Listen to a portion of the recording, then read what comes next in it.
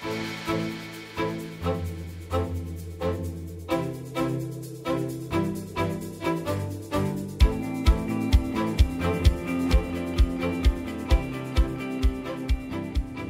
a patient presents with an abnormal pap smear, the initial question that most people have is what does this exactly mean?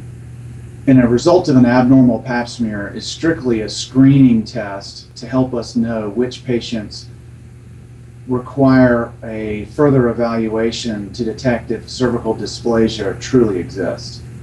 A pap smear is an excellent screening test. It is not an excellent diagnostic test. And what that means is that within the realm of abnormal, meaning abnormal cells on the cervix, which is called in physician terms dysplasia, a pap smear is very good at telling us who has no dysplasia and who does have some dysplasia, but it is not a good test at telling us what degree that dysplasia um, exists. And so, information that's commonly um, presented or reported on pap smears is whether a viral infection called HPV exists. Um, HPV is a virus otherwise known as human papillomavirus, which is incredibly common um, in the adult population.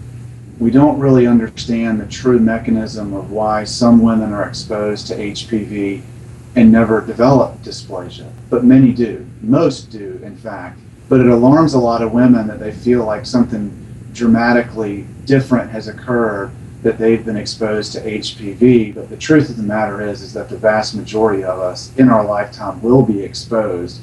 Whether all of those exposures are sexually mediated or not, we really don't know, to be quite honest with you. There is some data uh, and some um, case reports that HPV can be transmitted through non sexual means. Um, it is my opinion that there are non sexual means of transmission of HPV due to the fact that so many of us, almost 90% of us, have been exposed by the time we're 50.